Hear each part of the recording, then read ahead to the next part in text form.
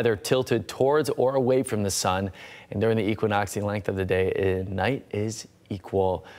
All right, Reese, though, before we get to fall, today has a song that goes along with today. Oh, it does. Would you like to sing it for us? I don't know what song it is. Do you remember? Oh, yes! The 21st night of September.